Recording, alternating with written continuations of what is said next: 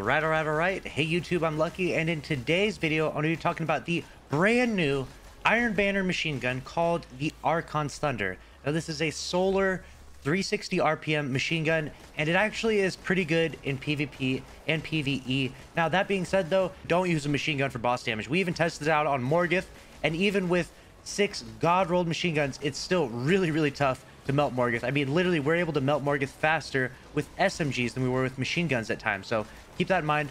Definitely do not use machine guns to melt bosses, but you can use them in PvE for ad clear. They're extremely efficient at that. And the 360 RPM is also pretty good inside PvP. So let's go ahead and look at the roll I have here. I'll show you the one I got from doing the quest. Obviously, this is how you get it. You just start doing the Iron Banner quest, go talk to Saladin, you beat a bunch of steps, it gives you the shotgun, and then it gives you the machine gun. I got Mulligan and Iron Grip, which is an absolutely terrible roll.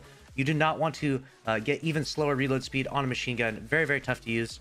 So we're going to go to light.gg and we're going to look up the perks on this weapon there because I didn't even get near a god roll. Unfortunately, my streamer loot ran out with the hung jury today. I actually got a god roll hung jury first try. Now, for PvP purposes for the Archon Thunder, it has terrible ADS speed. So Snapshot is going to feel really, really good on this weapon. And then to pair along with that, I really think that the best perk you can do with this would probably be Killing Wind. And I've used a lot of machine guns inside the Crucible. And I will say that a Killing Wind Snapshot roll of this Archon's Thunder would be really nasty, okay? You get the first kill with it and you get that increased mobility. And you're always going to have that quick ADS speed, which is going to really feel nice on a machine gun. This will actually be really good for Crucible purposes. Killing Wind Snapshot, a great roll. Now for PvE purposes, you're definitely going to go for Rampage because again, you're going to use this weapon for ad clear. You're not going to use it for boss damage. It just doesn't do very good boss damage. Bungie really needs to buff machine guns. We need to get that trending. Like hashtag buff machine guns. We need that trending on Twitter. We got to get that happening, okay? I'm really happy to see some of these weapon archetypes get buffed, but machine guns have been left in the dust for a long time now.